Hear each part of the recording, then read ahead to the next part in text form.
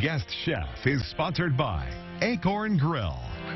It is time to once again share a great recipe on this Wednesday with Acorn Grill. Blair Steele is here, wrapping uh, us into the Charlie's Angels group. Yes. I had someone actually stop me and say, oh, you guys kind of are like Charlie's Angels. There's three of you. I said, well, as long as I get to be Farrah, life is good.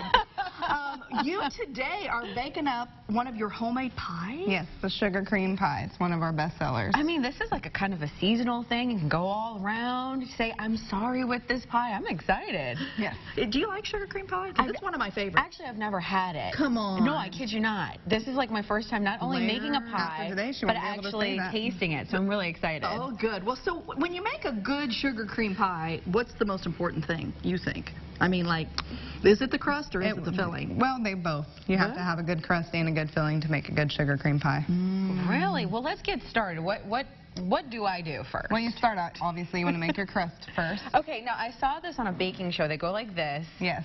And but then- you don't want the dough to stick to where you're rolling it. I just, wa- I just, You just wanted to do that, I didn't you? and then they go like that Yeah, too, you have to right? make sure it doesn't stick to the rolling Okay. pin as well. So you're doing Are great you? so Okay, far. so I, I learned things today. This is a pre-made dough, Yeah. correct?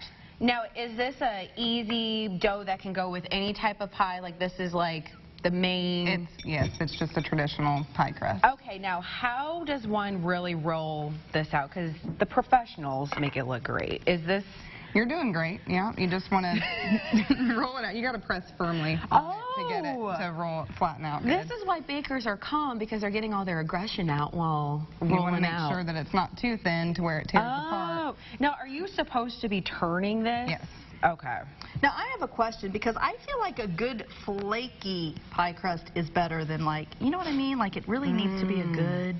So is, is there an ingredient that makes it That's a better? good question. I mean, what's the what's the, what's the important ingredient? Is it the shortening? The Is shortening. is- I thought yes. so. Yeah, you have one third cup and one tablespoon shortening, a cup of all-purpose flour.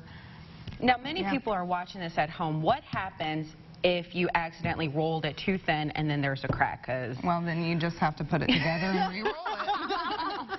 All Yes, right. Hazel. So we've got the crust. You're going to work on getting that in there. yes, but yes. the filling is, to me, magical. It's delicious. Sometimes I find myself just scooping it out and, and eating it out of the bowl. we eat it out of the bowl every time. And of You course, can do like that? It, well, after you're finished. Of oh. course. Oh. It's good oh stuff. Oh my gosh, You I'm so excited. So what are the sure ingredients that make good sugar cream pie? We start out with two cups heavy whipping cream, Okay.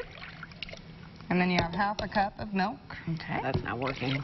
I feel like he- heavy whipping cream is a requirement for anything Of course, yummy. it's what And butter. and makes it delicious. yeah. And there's actually no butter in this recipe. Really? Nope, nope, And nope. then you have half a cup of flour, brown sugar, and regular granulated sugar. Now I notice on the recipe you're calling for whole milk. Is that critical? That Yes. Okay. All right. Good to know. Lots of fat.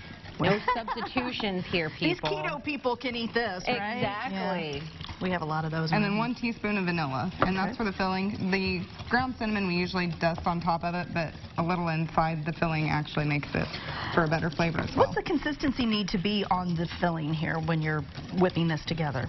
It should be half partially thick. The whipping cream will help thicken it up as you mix it together. Um, now, once we, we have it together and we pour it into the crust, um, we're not pouring it into your crust, we're pouring it into this You're doing crust. a great job. What you did? Like how uh, how long do you bake the pie? Because also I feel like the top, getting it that nice golden brown is another key. It, you bake it for about an hour at 350. You want to make sure that the filling is set Mm-hmm. and that the center is firm. Now, what's So- your secret to making sure that the crust doesn't burn on top? You butter a little bit. around Butter the it edge. around. Now, can you tent it, tent it with a, a foil or? You can, but Yeah. it'll stick to it. So Um, so are all your pies homemade? all of them are homemade, yes. I love that. What uh, what are your pies that you offer at the restaurant? We have peanut butter pie, sugar cream pie, and a s'mores brownie that we do regularly.